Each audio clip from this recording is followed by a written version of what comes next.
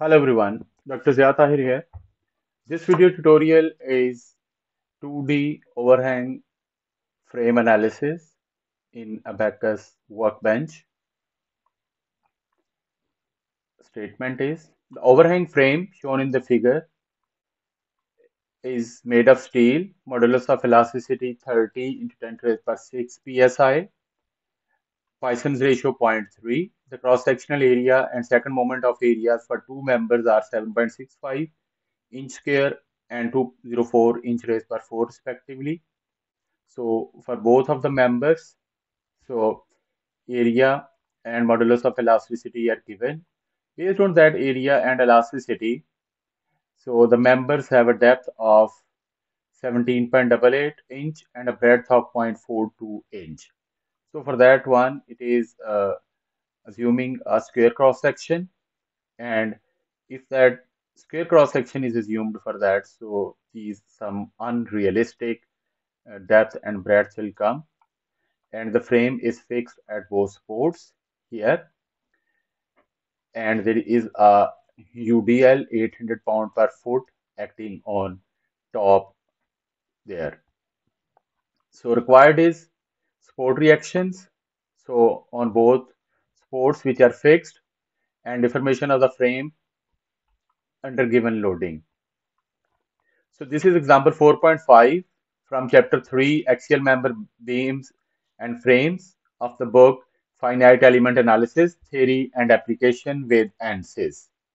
So here, so that is example 4.5 and this is just I have modified it a little bit. And these are the dimension. It is from chapter 4 axial member beams and frame of the book. Finite element analysis theory and application with ANSYS so the results of a uh, ANSYS workbench which I'll get.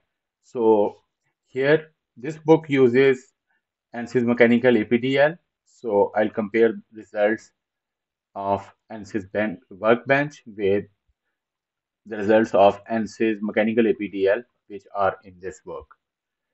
So this tutorial is a series of uh, Abaqus ANSYS workbench structural analysis. So here uh, on the playlist in my channel, you can find some videos on truss analysis, 2D truss and 3D truss analysis, and then some videos on 2D beam analysis. So steps for analysis of that frame in ANSYS workbench. So these are steps. So I'll follow these steps and then I'll explain that one by one each step. And uh, these are like first is a project, then engineering data, geometry, model, five is setup, six is solution, then solve, and seven is result. And I'll explain all those. So the first step is to start a static structural project in ANSYS Workbench. So that is the ANSYS Workbench. And here you have analysis systems. And in that analysis system, that is static structural. So I double click on that. So it will start a new project, static structural. And these are the steps one, two, three, four, five, six, and seven steps, which I'll follow for that analysis. So you need to save that uh, project before starting. Next step is in engineering data, need to add material. And for that, linear elastic isotropic elasticity that is required. So here on the engineering data, double click on that. And here you have some default is a structural steel. And then from engineering data source, you can get some other one. So, so I'm going to add a new material here, steel and so steel. And then from linear elastic isotropic elasticity is being dragged here.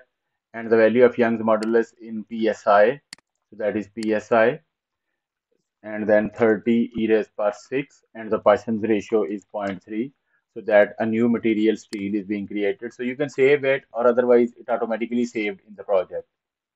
So once saved you can simply close it so next step in the geometry, you need to select analysis type and basic geometry option. I'm going to select that line bodies and analysis as 3D. So for that, click on geometry and in the view, go to properties. So here you will find properties. So click on line bodies and then after that the next one is need to uh, sketch that frame in design modeler and for that one need right click so you have two options one is a SpaceClaim the battery and the other one is design modeler so i'm going to start design modeler so it will take some time to open that design modeler so that is design modeler so in that design modeler the steps which we need to follow first we need to sketch that. So sketch is uh, simple straightforward one horizontal element and one vertical element. And I'm going to draw that in XY plane. So first select XY plane and then you'll have that XY plane and in the sketching here in the setting grid snap on and then but before uh, grid on and snap on but before that you need to change units to feet because here like horizontal member is 10 feet and vertical member is 9 feet. So units in feet and then major grid spacing I'm going to select as 5 feet and then minor step per major I'm going to select that 5 so now uh, now from here I'll select line.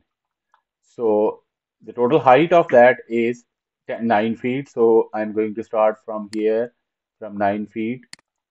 And then here that is the second one. So I draw that there one horizontal member and one vertical member. So I can check their dimension. So if the dimensions are not appropriate, you can change that dimensions like that. So here height is 10. So you by clicking there, you can by adding that value here, you can change the dimension. So now that here, so in the XY plane, I got that sketch. So now uh, in the concept line from sketches and generate, so by clicking here, concept, lines from sketches, apply, and then generate. And you can see here is a line body is being a line line body is being created, but it doesn't have that cross section. So for that cross section, the next one in the concept cross section rectangular and then generate it. So for that one here in the concept, go to cross section rectangular and then it is dimension in feet but I don't want that one. I need to change the units and I'll put that inches. So in the inches so the breadth of the member is 0.428 and then the depth of the member as 17.888 so that one this looks very weird like uh, because the usual they are not like that uh, thin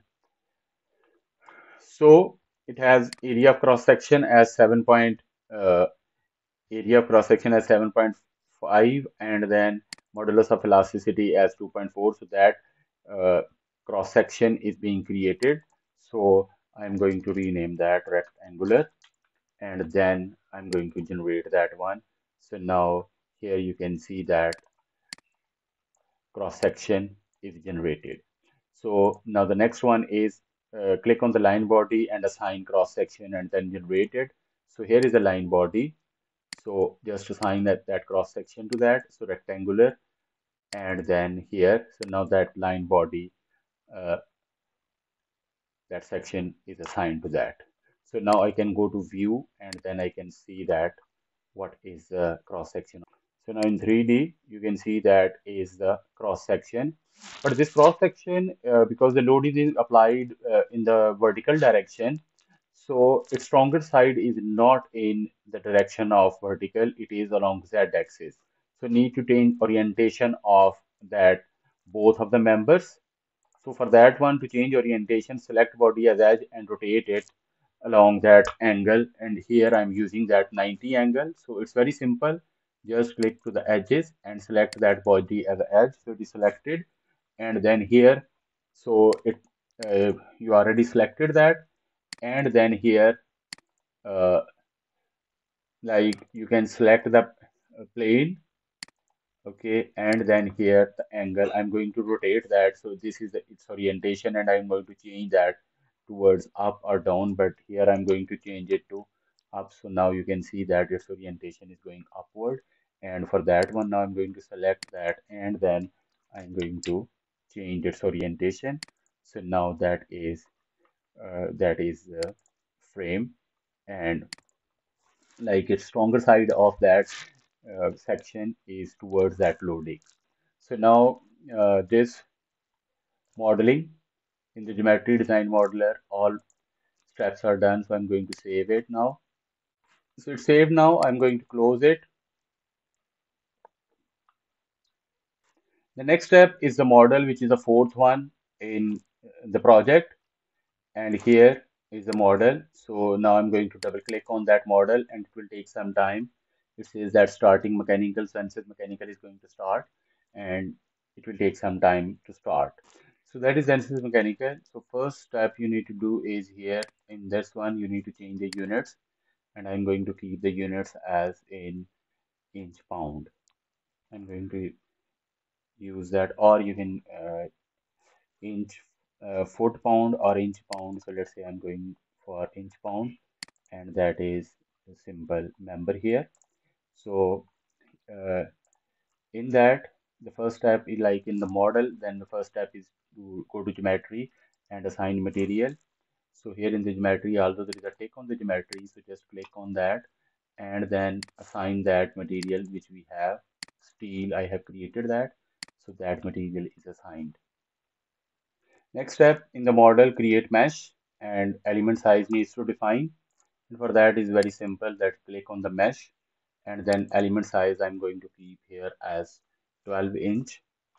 So this element size uh, by changing that element size the accuracy is going to change. So I'm going to with one fit size I'm going to generate that one.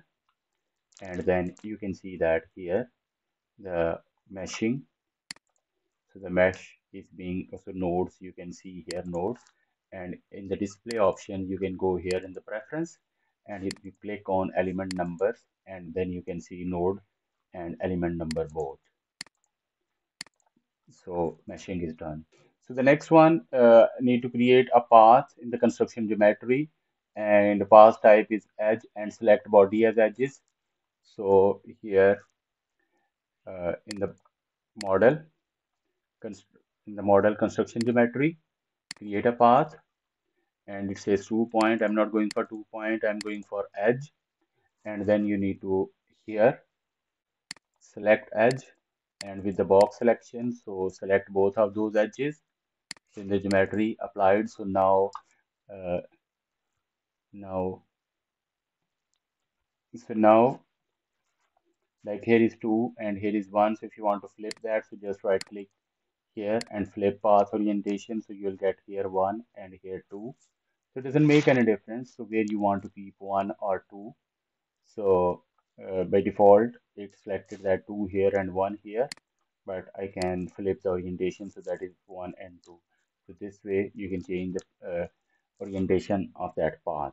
Next step is you need to go to setup and in the static structural go to environment select support as fixed and then scoping method geometry and vertex.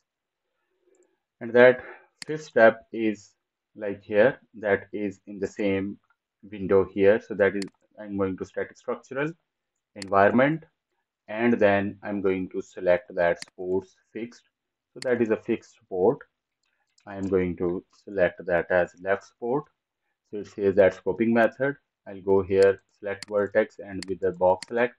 So that is selected. So apply.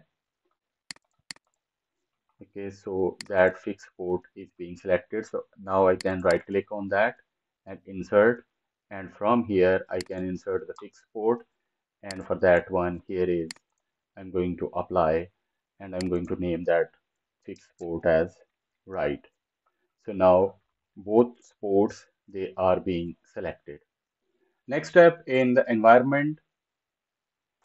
So in the static structure, go to environment, then loads, and in load, select line pressure. So uh, uniformly distributed load in Abaqus workbench, the name of that is line pressure, and then go to component scoping method. In the geometry, need to select edge. So for that one here, So static structural and you have loads here. So just click on there and you'll have that line pressure. So for that line pressure, it's geometry selection and by default its edge is being selected and with the box selection here. So that edge is selected, apply and then in the defined by its components. So we have only in the downward vertical direction that UDL. UDL is 800 pound per foot. So for that one, it is pound per inch. So you can change here units. So so that is foot. So now you can get that uh, that is minus 800. So that is minus 800 foot per pound. So that is minus 800 foot per pound, and you can see that. So now that line pressure, and I am just saying it as UDL. So it is being applied there. The next one, the solution need to add force reaction, and for that probe, force reaction, and then boundary condition, and then sport name. So it's simple. Here, mm, click on the solution, and then the probe. Here you have force reaction, and that force reaction it's a force reaction left. So I am going to rename that as force reaction at left. And similarly in the probe again. So force reaction and here force reaction right. So I'm going to rename that as force reaction. So at fixed port there are like some force reactions and moment reactions. And the other one in the probe need to go moment reaction and then apply that. So then again for the probe, here we have moment reaction. So for left sport, so I'm going to rename that as left sport. And then in the probe, then again moment reaction. And this time I'm going to select that right sport. So moment reaction, uh, so that is right sport. So now like the reactions, so they are being so the next step is need to go for directional deformation. So deformation directional for that one is scoping method is geometry or path and orientation named axis. So for this one, because uh, there's no load applied in y direction, z direction, so I'm going to request that only deformation in x and y. So deformation, directional deformation, and that directional deformation, let's say about x. So about x, here is a geometry selection. So you can select that all bodies, but uh, or you can go for. So first, let's say I'm going for path, and path already created, and then that is x-axis. So that is a directional deformation. Then again in the deformation, you click on directional deformation, and then directional deformation y. And for geometry selection, you can select that all bodies, but I'm going for here path, and then click on the path and then y-axis. Okay, so these are uh, directional information about that path. Okay, so now the same one I can go for directional deformation. I can add two directional deformation. That directional deformation for that all bodies in x direction or in y direction. So similarly, you can go for directional deformation for some no named selection. You can select some uh, nodes for that, and then you can get that directional deformation about any nodes. So directional deformation along x-axis, all bodies. So that is x-axis, and that is now for all bodies y-axis. So now whatever is required in the solution, so that is being added. So once the parameter required, they are added in the solution, the next one is you need to solve. And for that one is very simple. Just click here, solve, and then you can use solve. So those yellow uh, icons, they, uh, symbols, they will convert to green, and then you will have their green ticks like, or otherwise you can hit that solve button. So now you'll have all those solutions here. So the next one in the results need to check that reaction that supports. And for that one, here you have force reaction at left support. So I'll see that the value of it and then force reaction on right support. So, so there are two components of that and then moment reaction there and then moment reaction there. So here you have that uh, the same one example 4.5. So in this book it is solved using uh, ANSYS mechanical APDL, but the results which they got here, so we can compare those results. So now in that solution, so that are fx, fy, and fz, but the units they have used as uh, pound inch. So I'm going to change the units as pound inch. So now the force reaction at left support, so it is 526 in x direction and 4510 in y direction. So here you can see 534, 4517. So they are slightly different and the difference is maybe the mesh element size or that approximated value of maybe there is a like the cross section. I have assumed that as a, a rectangular cross section so probably they use a different cross section. And then you can see that at node 3 which is the uh, which is that left support so fx is minus 534 and fy is 3483 so if I go on to the right support so here you can see minus 5 uh, 526.9 and 3489 so these values are nearly close. And then the moment reaction at left support at left support so that in x direction that is approximately that is zero that y is zero and then it is uh, like as that is 100.32 uh, kilopound inch. So here you can see that it is somewhere 10147 into 10 to raise by 0.101 so that is about 101 kilopound per inch. And then on the node 3 it is 18 uh, 18 point 18259 so on that other support i can see that it is somewhere 17878 and this one there is slightly difference is again due to like there is a possibility of number of nodes or then about uh, possibly due to the cross section. So the results here uh, Abaqus ANSYS mechanical uh, mechanic uh, ANSYS workbench they are quite close to the ANSYS mechanical APDL the next one is directional deformation. And for that directional deformation that is the overall deformation here so you have the minimum value and the maximum value in x direction and that is in the y direction. So you can click here to get that maximum and minimum value for both of those and these maximum and minimum values are there. So then uh, that deformation along the path. So here you have the deformation about the path. And then uh, here because that path is being going to start from there and then at 10 you'll have that uh, like if I change the units to so like as at 120 somewhere so at somewhere here so that is in the solution they uh, so that is like 2.75 into 10 to the power minus 4 inches so that is the value. So in that uh, book so the node 1 node 2 and node 3 so in the book. So they actually selected node 1 here node 2 here and node 3 there like at the node 1 at the fixed port left fixed port and node 3 at the right fixed port. So that is at 3 so at 3 so they got like uh, ux as ux as uh, like you can see minus 2794 into 10 to the power minus 3 and uh, 2794 and the same value I got here somewhere around uh, 2753 so and then along that path along y-axis and at the same point it is minus 1.6407 that is the y value.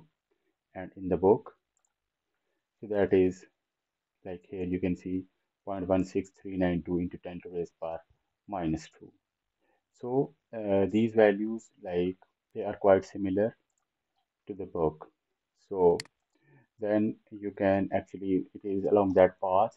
So you can plot that one. And if you want deformation like if you want to get that uh, because here it only shows maximum and minimum. And if you want to get that at each node and element so you can just simply export that export that text file as a text file. So that is the directional deformation you can see that So that file is being exported and then for each node, so the corresponding value in inches, you can see it. So this is all about uh, this is all about like analysis of overhang frame to for reaction at support and directional deformation.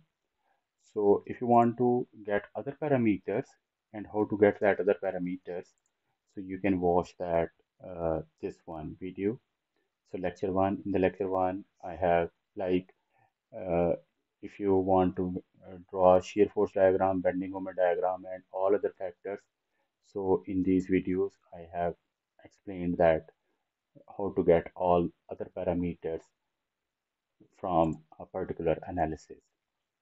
Now the summary of that, so for this frame, which is subjected to UDL, fixed at uh, both ends, so fixed, and support reaction and deformation of the frame was required.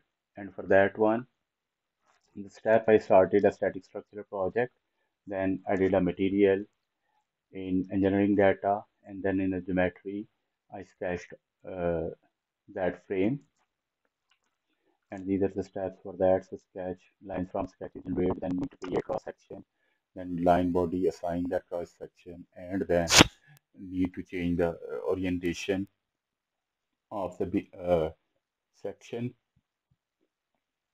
Then in the model need to select the geometry in the geometry assign material then mesh. I use that uh, one feet element size to generate that mesh.